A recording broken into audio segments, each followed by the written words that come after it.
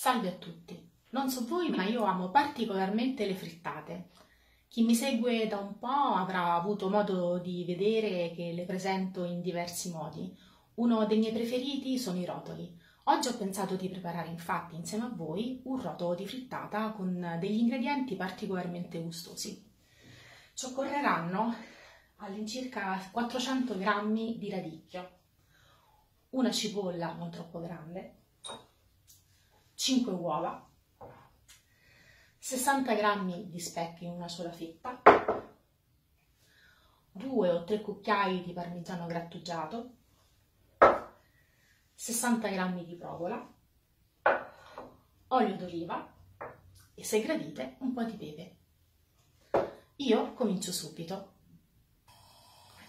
La prima cosa da fare sarà quella di mettere a dorare il nostro speck che io ho tagliato a fettine sottili all'interno di un tegame.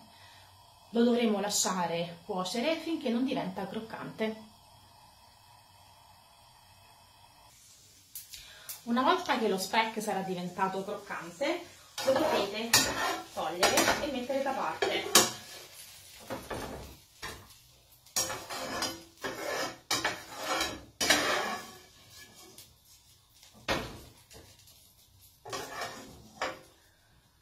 Punto nel fondo di cottura dello speck potete cominciare ad aggiungere la cipolla.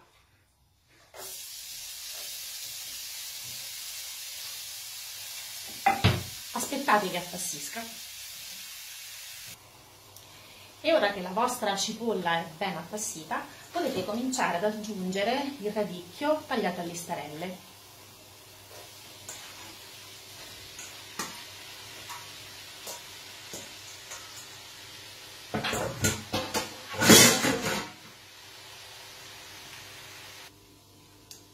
Nostro radicchio è pronto. Ora dovremo avere solo un po' di pazienza e attendere che si raffreddi. Nel mentre cominciate a prendere una teglia e a rivestirla con un foglio di carta da forno. Mi raccomando una teglia non troppo grande. Il mio radicchio si è raffreddato, l'ho trasferito come vi avevo detto su una teglia, l'ho distribuito uniformemente. La mia teglia è all'incirca 20x30 eh, queste sono le dimensioni, non superate 25 e 35, altrimenti il rotolo diventa troppo sottile. Ora ho acceso il forno, e il forno deve avere una temperatura di 200 gradi, quindi da questo momento posso cominciare a battere le uova. Ho già messo un pizzico di pepe, aggiungerò i miei due cucchiai di parmigiano grattugiato e batterò le uova. Ed eccole le mie uova ben battute, sono pronte per essere versate nella teglia. Il forno è a temperatura e quindi appena le avrò versate potrò infornare.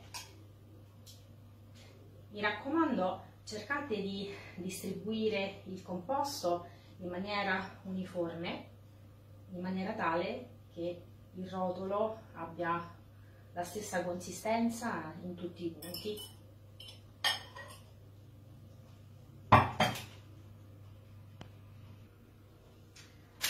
Eccolo, dopo pochi minuti il nostro rotolo diciamo è già pronto perché le uova si gonfiano immediatamente in forno. Ora dobbiamo avere soltanto un po' di pazienza, attendere che si raffreddi leggermente eh, il rotolo per poterlo poi lavorare e, e aggiungere gli altri ingredienti.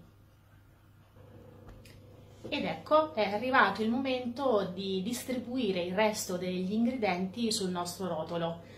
Comincerò dalla provola che io ho tagliato a julienne, preferisco perché in questa maniera il rotolo è più facile poi eh, da lavorare e sicuramente ne occorre meno rispetto a se la mettessimo diciamo con, con delle fette. Ecco, cerchiamo di distribuire in maniera uniforme in modo tale che la provola sia un po', un po dappertutto. E successivamente aggiungerò il mio speck distribuiamo anche lo speck in maniera uniforme. Lo speck se volete farlo a striscioline ancora più piccine va benissimo lo stesso. Ecco qui. Ora con l'aiuto della carta da forno comincerò a fare il mio rotolo ed è molto molto semplice ecco qui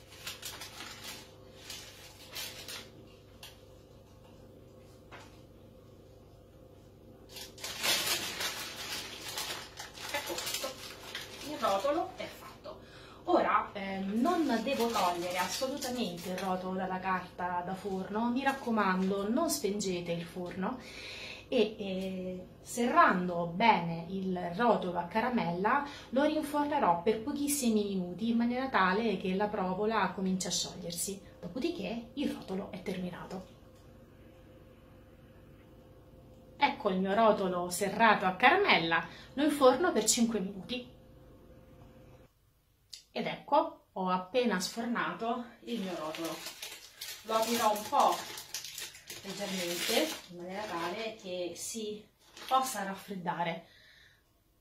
Non ci vorrà moltissimo, lo lasciamo diciamo tiepido, eh, poi potremo procedere a tagliarlo e a servirlo. Vi farò vedere in che maniera. Un piatto veramente semplice, alla portata di tutti, di gran bella figura. Il rotolo ha la temperatura giusta per poter essere tagliato, comincio a tagliarlo con un coltello abbastanza affilato, regolatevi mh, per fette di circa due dita ciascuna.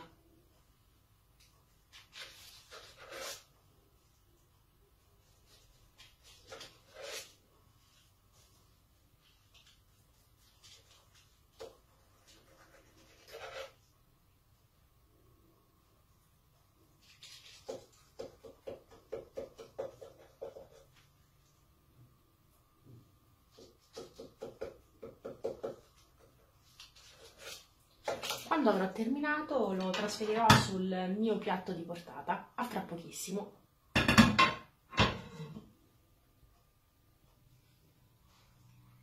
Ed eccolo il nostro rotolo è pronto per essere portato in tavola. Un piatto veramente semplice che tutti potete realizzare. Spero che questa ricetta vi sia piaciuta eh, e spero di rivedervi presto qui in Cucina con il Cuore. Un bacio!